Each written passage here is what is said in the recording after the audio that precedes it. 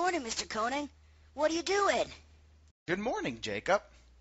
I am doing an experiment. Well, do you mind if I help? of course you can, Jacob. Come on over here. I'll show you what I'm doing. Look up here on the windowsill. I have two plants. Both the plants are in pretty much the same location and get the same amount of sunlight. This first plant, however, I water every single day. This plant, however, I only water every other day. So, Jacob, in this experiment, what do you think it is that I'm testing? Well, since they're the same type of plant and in the same location, are you testing how well they grow depending on how much water they get? That's absolutely correct, Jacob. I'm measuring how much the plants grow based on how much water they get. So why did you place them both in the same place? Wouldn't it have been fun to put one somewhere and somewhere else, and maybe maybe have different amounts of soil? Oh, oh, we could also change uh, what what we music we play for them. easy, easy. Calm down, Jacob. That actually wouldn't work in this experiment. Let's talk about why. If we set up the experiment in one of the ways you suggested by putting the two plants in different locations, this first plant would receive more water but less sunlight. The second plant would get less water but more sun. So do you see the problem yet, Jacob? Oh, what, Mr. Koning? I think I do. We're changing too many things. At the end of my experiment, I couldn't say that it was the water or the sunlight that made it grow more, because I changed too much. You got it, buddy. In order for an experiment to be fair, you can only change one thing at a time. Everything else in the experiment should stay the same.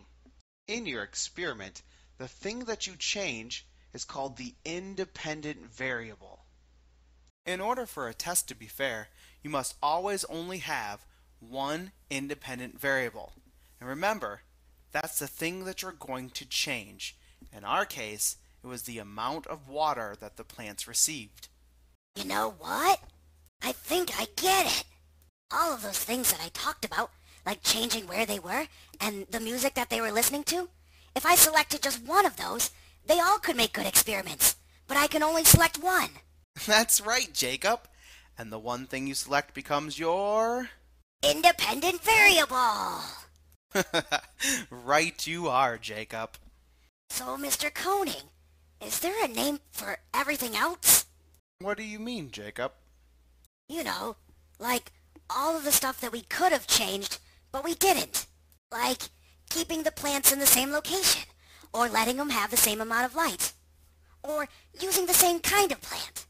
That's a great question, Jacob. And yes, they do actually have a name. They're called the controlled variables, or sometimes just the control. The control, or the controlled variables, are the things that stay the same in the experiment. The point of a control is to keep an experiment fair. By keeping everything the same and changing just one thing, we can say that that one thing did or didn't have an effect on what we were testing. Wow, very cool. So is that all there is to an experiment, Mr. Koning? Nope. When it comes to scientific experiments and variables, there's just one more part. But let's look at that after spring break. Sounds good to me, Mr. Koning.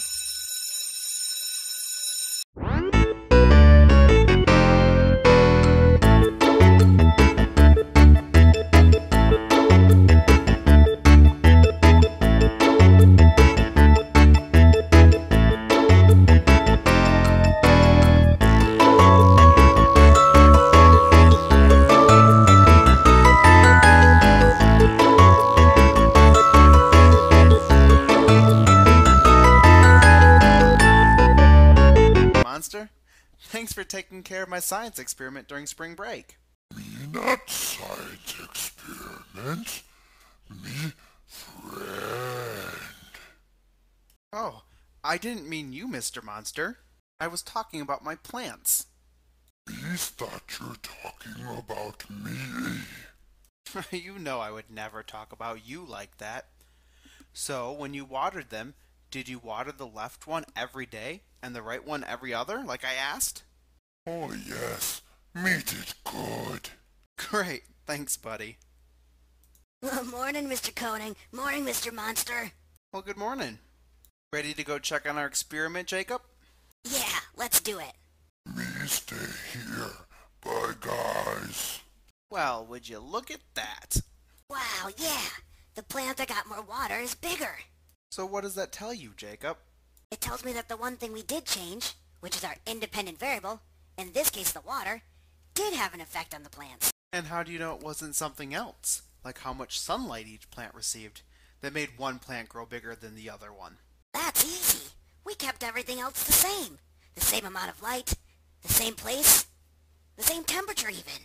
By keeping all the other variables the same, I can pretty positively say that by watering one of the plants more, in this case, actually caused it to grow bigger. I would have to agree with you there, Jacob.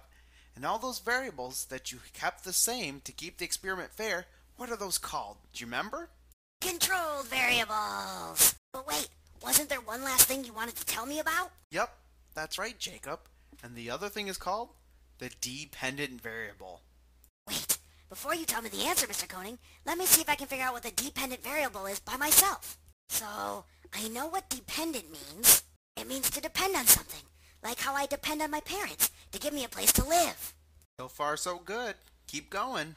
So, in our experiment, the dependent variable must be something that depends on something else. Like in our case, how tall the plant got depended on how much water you gave it. That's right, Jacob. An easier way to think about it is like this. In an experiment, the dependent variable is what you're trying to measure. In our experiment, we were trying to measure how big the plants got. We found out that how big a plant got depended on how much water you gave it. So the thing that we changed was how much water. So that's our independent variable. The thing that we measured was how big it got. So that's our dependent variable. All right, I get it. When I do an experiment, the thing that I'm measuring is my dependent variable. The thing that I change and test is my independent variable. Everything else should stay the same, and those are my controls. That's right, Jacob.